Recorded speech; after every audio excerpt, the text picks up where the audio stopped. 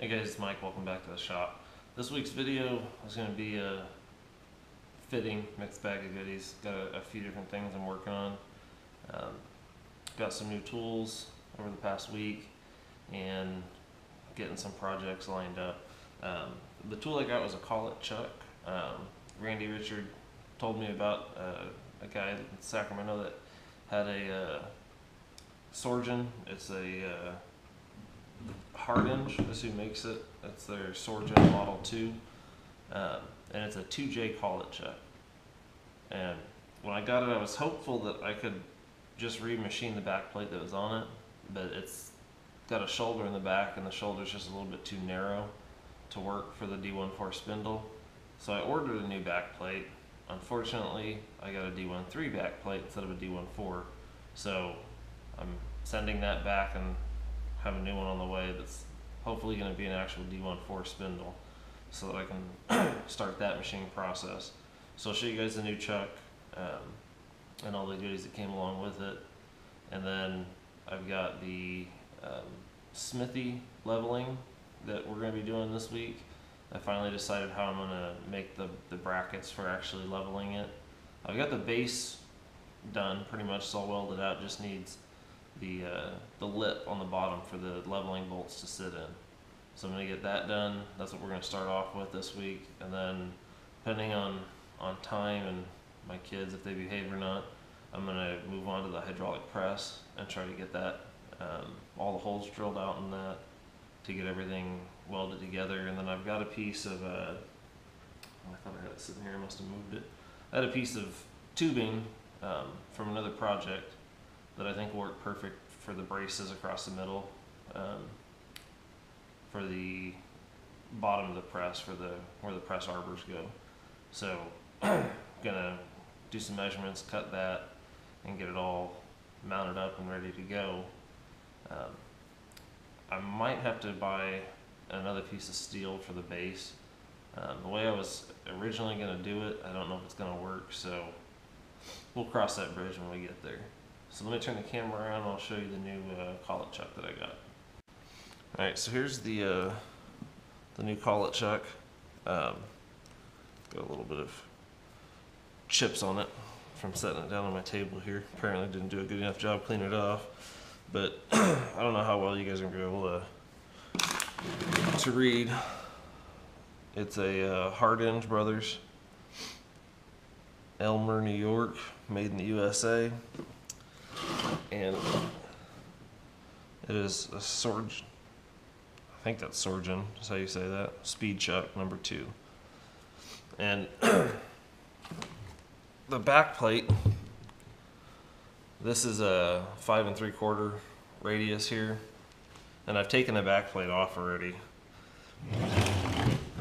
So this is the old back plate this surface here is, is machine smooth and then this is a, a, a, real light press fit into the, the back here. So I was hoping that I could machine this side to fit a D14 spindle. Unfortunately it doesn't fit. The, the bolt pattern, the three hole pattern is just a little bit outside this radius. So, and it's not thick enough here to be able to put the uh, the D14 sorry thick enough here to put the D14 posts in. So I'm gonna have to completely machine up a new one. I got one but like I said it's a D13 so this diameter is slightly different and then the hole pattern for the, the three posts is just a little bit smaller. But this is going to be pretty much what the new one looks like. It's just going to have a bigger radius back here. And that should be getting here sometime within the next week. And then in addition to the chuck, I also got a fairly nice set of collets. Um, it ranges from one quarter to one and three eighths. And the only problem with any of them was this one here has a little tiny chip out of the shoulder, and that's a three quarter, which there's another three quarter here, and these are all hardened. Um, I think these are the only ones that aren't aren't marked, and these are aluminum jaws. And I don't know if these were machined by somebody or if they're actually sold like this, but I don't know if I'll really be using these at all. Mainly I'll be using um, the 7 eighths and then probably inch and a quarter for doing the most of the rifle brakes I do are 7 eighths outside diameter. Most of the shotguns are one and a quarter outside diameter. So I got all this included. Um, so I got to thank Randy. It was an absolutely amazing deal. Um, I've been looking and looking and looking, and I just haven't found the right deal. And Randy told me about this, and it all worked out perfectly. And the seller actually even came here to, to my shop and dropped them off. He was coming up to, to visit, he had some time off, so he brought it to me, and I took one look at it and said, Yeah, I'll take it. Everything looks like it's in pretty good condition. Doesn't look like there's anything that's been damaged or really even used all that much. Most of these collets are are perfectly smooth on the inside. Some of them don't even look like they've ever been used. So I'm pretty excited about getting this thing set up and uh, machining the back plate for it so we can actually use it and I think it'll make things a lot easier for me when I'm making multiple brakes at a time to be able to take a brake out, put another one in, and have it be pretty much exactly the same. Alright, so here's the uh, frame that I welded out. I've got it just sitting in the one corner here. And I've been trying to figure out how to put the ears. I was going to do an ear coming out here, and on this side do it this way, and then on the opposite side put the ear here, and this would be the outside. Well, this would be the inside, but I'd rather have the ears on the corner here. So what I decided to do is I'm going to take some angle and actually that's not right. I'm going to come out like this. I'm going to cut some pieces of angle so that they come together in a 45 here.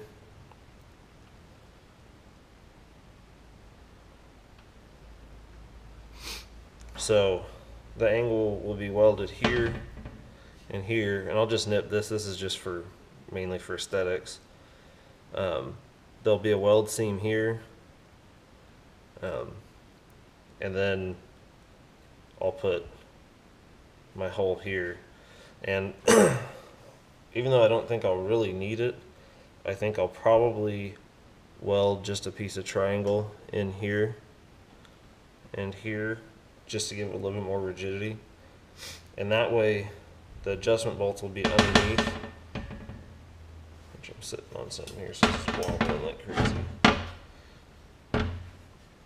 There we go. So I wanted the the smithy raised up a little bit. I'm I'm six six, so having a, a short, you know, standard size table, it really feels like I'm bending over. So I want to raise it up a little bit more. And this way it'll give me, um, move that out of the way.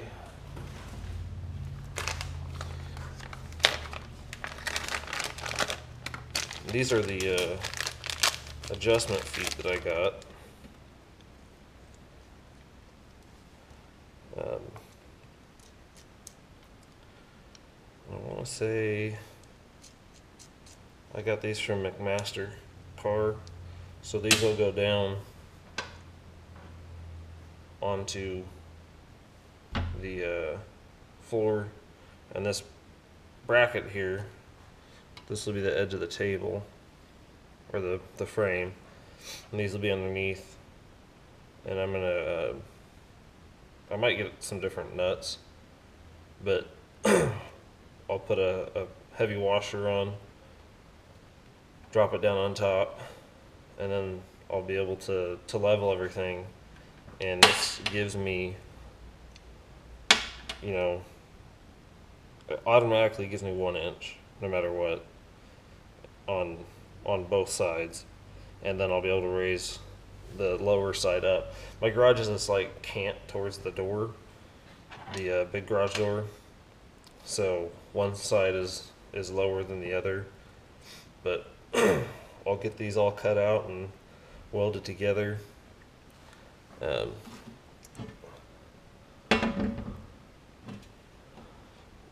one of the reasons why I brought it over here so I could use my little pencil here and kind of take measurements to see how big it's going to need to be. But I think this will work out pretty well. I've got a, a ton of little scrap pieces that I can cut the triangles out here. And like I said, I don't really think I'll need it, but better to, to need it and not have it. Or have it and not need it than need it and not have it. So let's uh, get these measurements done and then I'll bring you back when we start cutting everything out. So here's the uh, pieces we're cutting out. They're three inches from end to end. And three inches from here to here. And that way, this side will be the side sticking out. So here's the, uh, the first one cut out. And kind of see what it's going to look like here. Um, I'm cutting them three inches from this edge to the back of this edge and that gives me more than enough material here I could probably even go shorter but this way I think it'll work out just fine so these will be butted up against this edge here. The other one will be butted up against this one. I'll grind a, a good V groove in here and weld this out. And it'll be welded across all the top and bottom edges. So that'll be what it looks like when we're when we're done. Alright so I'm just checking the the fit up of the ones I cut here and it looks like it's gonna work out pretty well. Alright so I got all the pieces cut out and you can kind of see I got a little bit of, of cleanup to do. Um, all of them fit together pretty nicely except for this one here.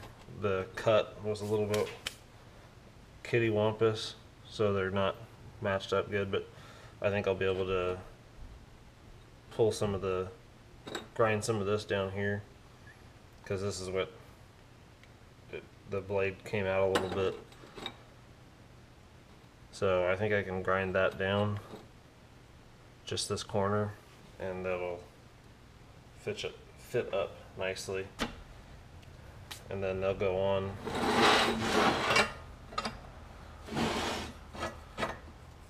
Like this. And I'll grind the, a V out there to to get a good solid weld in. I don't think I'm going to put the other bracket uh, gusset pieces in. I think that with this made like this I think it'll be more than strong enough. The, the whole smithy altogether weighs about 900 pounds and so I'm going to have two plates like this set up, one on each side. I really don't think I'm going to need all that much because these aren't going to be supporting a whole heck of a lot of weight by themselves. I'll make sure I get a good weld across the tops and a good solid weld here that I can grind down flat to drill through. And I think that's what I'm going to do now is I'm going to pull all these, throw them in the vise and get the, the edge ground onto them. I'm just getting all the pieces tacked on here real quick with my MIG gun. Um, I'm using a little spacer plate underneath each corner. I've got a bunch of uh, quarter inch aluminum pieces. I want those underneath when I weld and it was just easier. I've got four of them so I just threw four on each corner and I'm clamp these on. I'm just tacking them up real quick.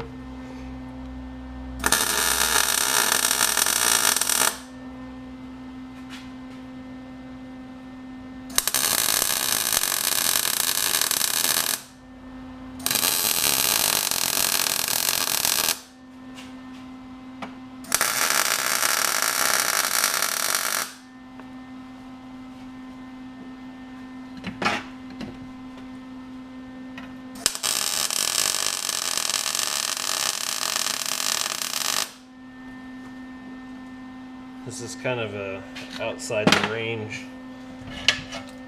for my little MIG welder, but it'll work for just throwing some tacks on. I figured since I finished the welds, I would show you guys how everything turned out. Um, this is almost completely flush here, and it got pretty good penetration. Um, this one cut away a little bit on the edges, but it's fine. Um, I welded the top parts. This side, I, I don't, don't ask me about that little bit right there. He doesn't matter.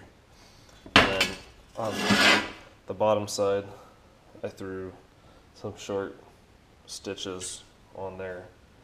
Um, I think with everything else being welded, that it'll hold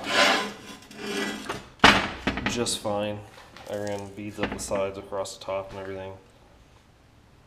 And uh, I realized after I was done that I needed to cut twice as many of these because I have the other base and I didn't cut these out when I had everything set up. So I'm gonna go get those set up, get everything else cut, get the other one welded out, and then uh, try to get these things cleaned up to be painted. Alright, I'm gonna try to get a video of some arc shots with the stick welding. It's kind of difficult because it's kind of in the way. But we'll give it a try and see how it comes out.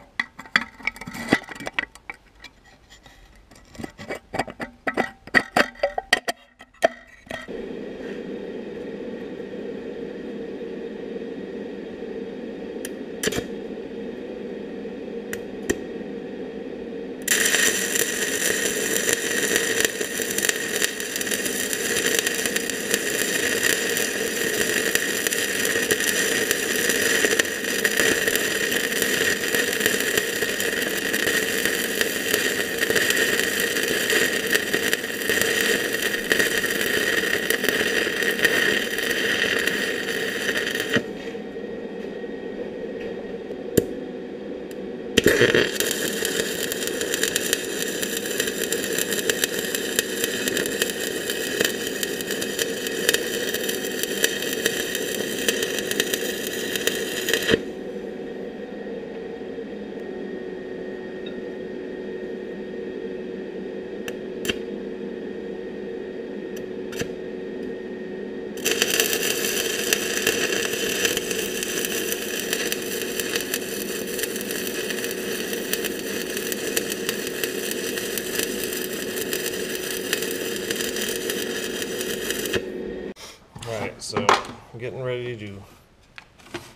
Drill the holes here. And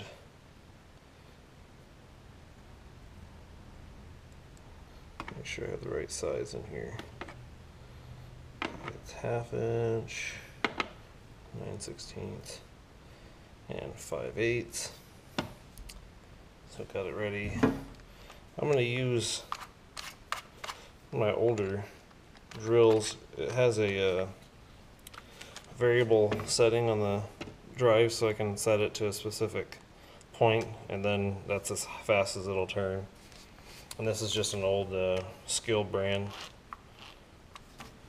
So let me turn the camera around and we'll try to cut our first couple holes out here. Alright, so we're going to get the first hole here. Just right there.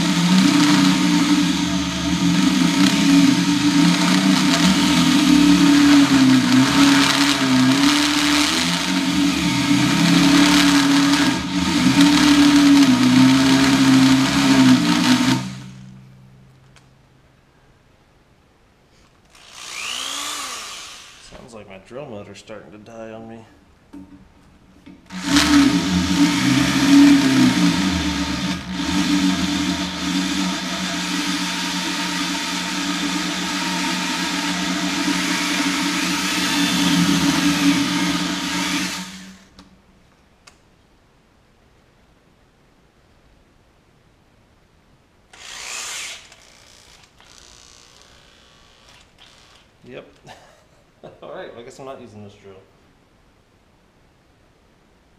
Oh, cordless DeWalt out here.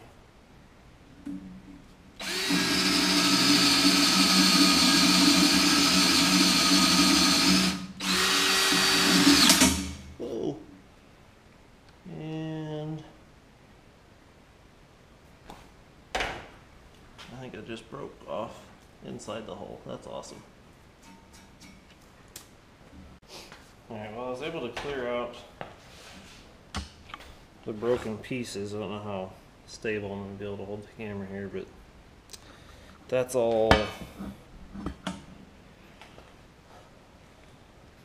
done.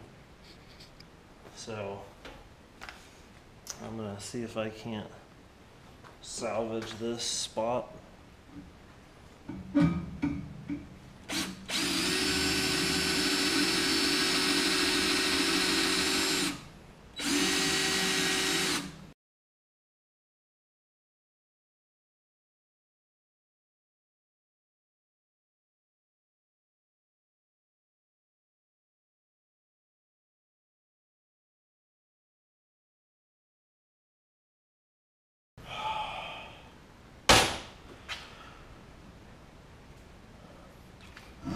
God, that is a chowdered looking hole. Hopefully they won't all be that bad. I think part of the problem with that one was just the uh, fact that it had been partially drilled with that Rotacut.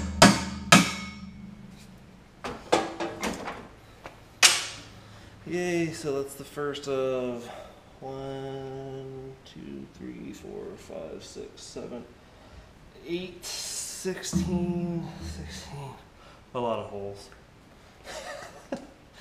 I'm not gonna bore you guys with a bunch more drilling. Alright, well, I got the hydraulic press, all the holes drilled for all my points for the raising and lowering the table. And I threw couple extra little pieces I had on the bottom, threw some casters on, and tacked them on real quick. I don't think I'm going to do anything else to it. In this video, I've got the uh, table, I guess you'd call it, done. I just need to weld the pipe in between the two pieces and then get the pins. Um, and then I need to get some 4x4 plate to make the guides to keep the piece that pushes down um, in line. And that'll be it. Alright, so the leveling bases are all painted up, put together. Um, still need to actually lift the smithy up to set it down inside of here, but I'm happy with how they turned out. The uh, the finish is that hammered metal um, spray paint, and that's what the smithy base looks like. So hopefully that'll match up pretty good. And then finally got my D1 back backplate, so I'll be able to get the collet chuck machined, or get the backplate machined up for the collet chuck, and be able to get going with that. Alright guys, well that's it for this week. Um, hope you guys enjoyed. I'm gonna try to get some stuff reorganized in here, get this collet chuck uh, backplate machined up for next week's video. Um, probably gonna do the Everlast review next week. If everything goes right, um, I'll have the time to get that done. We've got a couple orders coming in. Um, one for a completely custom muzzle brake that nobody makes, or that the customer can't find anybody that makes one like that for the thread that he, uh, he wants. So I've got a custom uh, oddball metric tap um, in the mail, and as soon as I get that, the customer is going to send me the brake that he's got um, because it's got a it's for a, an AK type uh, rifle or pistol, and it's got a spring detent that's clocked off dead center. So he's sending me the brake that he has so that I can measure and get the get the cant off to the side wherever that needs to be so that when I machine the brake for him, everything works all, you know, lines up and, and uh, it's true to the world when he's firing it. So I think that'll be a pretty interesting brake to make. And then got a couple more shotgun brakes coming in, um, or orders coming in, so I'll probably throw some of those in next week's video too. So I hope you guys liked it. Have a good night.